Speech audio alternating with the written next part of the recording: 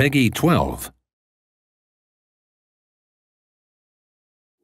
This Oliver, this Savior, I will taint his heart with the blackness of despair.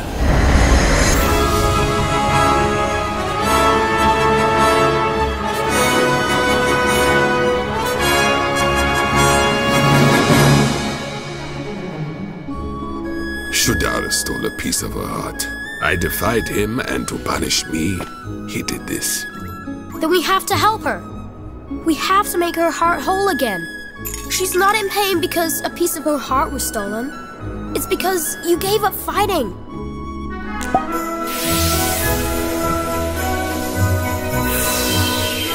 You realize nobody stands up to Shadar and survives, don't you? I can't believe I'm saying this, but you lot have got me half convinced. All right, I'll take you. I'll show you where to find him.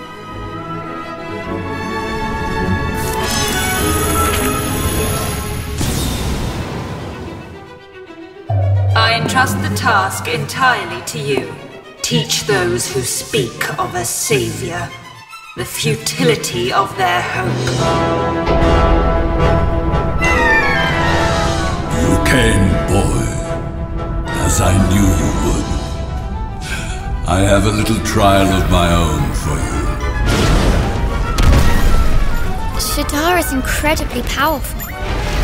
And they say no one can defeat him. I know that, but I have to. If I could only be with you once more. Why did you set out on this journey in the first place? It's my mom. I have to save her. Save your mother. You don't look powerful in the least, but somehow I just know you can beat him.